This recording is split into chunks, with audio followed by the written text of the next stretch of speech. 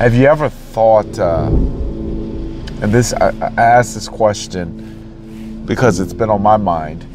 Have you ever thought that the reason why the thing that you, no, no matter how hard you work after it, now I've been told that your your blessings or the things that you want sometimes are delayed because if they were given to you now, you couldn't handle it.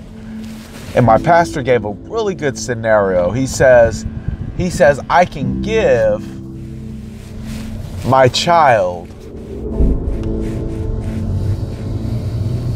a Ferrari.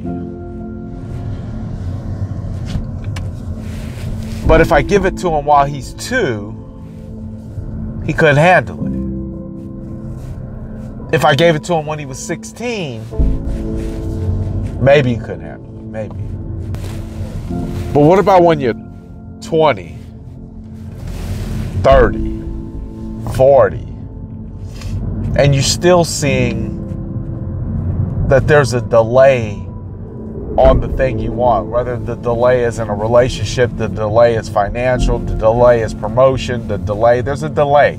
You know there's there's you know there's a delay because if you woke up and you're still going after something and you haven't reached it, it's still delayed. Doesn't mean it's denied. Doesn't mean you're not going to get it. Just means it's delayed. It's delayed. There's something going on. There's a reason why. Maybe you have to keep working. Maybe you have to